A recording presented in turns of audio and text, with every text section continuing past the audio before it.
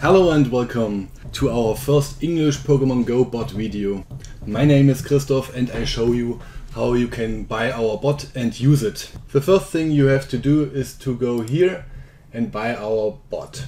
You can pay via PayPal or Bitcoins like you want. After the payment is completed, you will get an email from us, uh, probably like this. Uh, you find uh, links to important web pages like our homepage and you will get your CDK. This is very important. Don't lose it and don't share it. Okay, after you received your CDK, I show you now where you can get the latest version of our bot.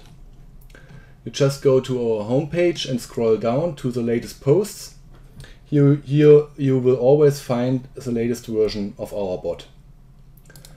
Just click it and here you find the download link. After you downloaded this file you have to unpack it. I use WinRAR for this. You may use other tools of course.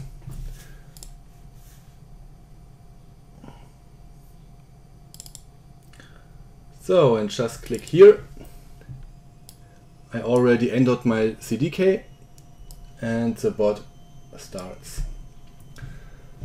We have four different tabs on the top. It's dashboard, navigation, settings and console.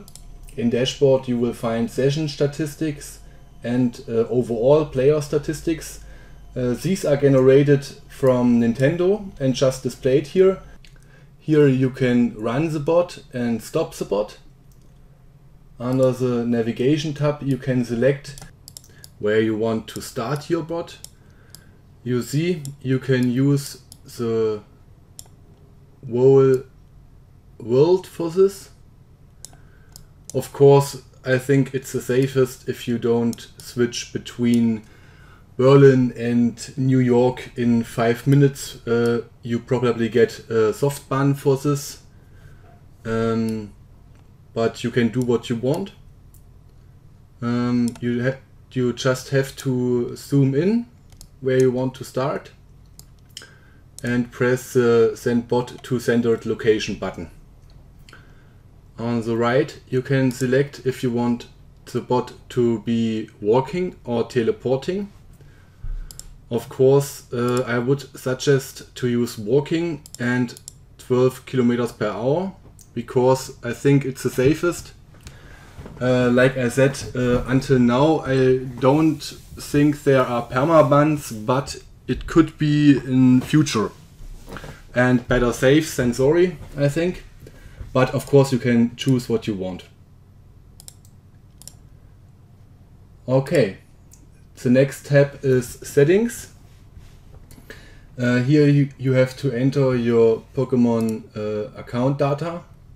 If you use a, a Google account, then select Google uh, don't write your username here, you have to write your email here and your password.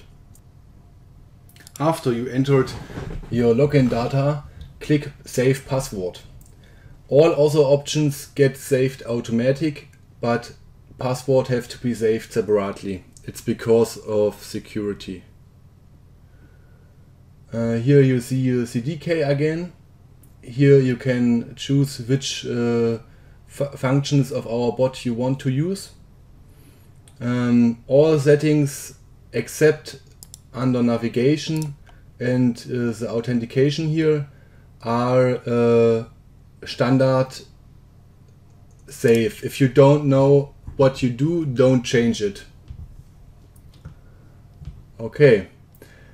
Um, under console you will get a log about what the bot was doing or is doing.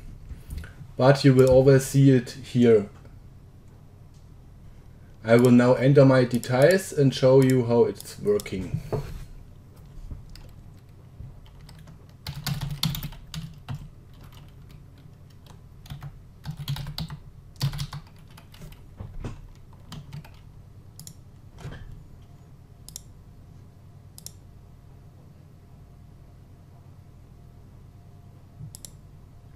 You see the bot starts to log in.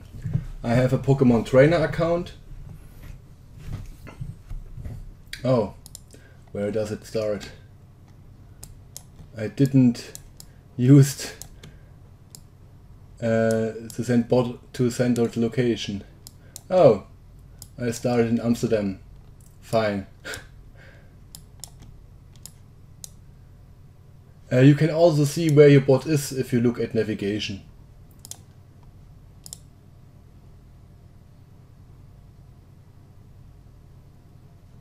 You see it has uh, found a Pokemon. It uh, used a Pokestop. It's walking, not teleporting. Okay, fine.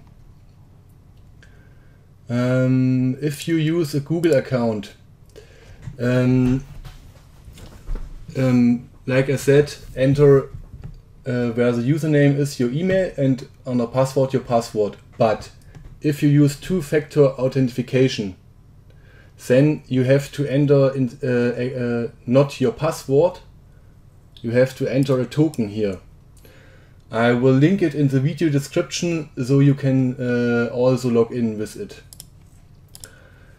I really hope you enjoyed my video.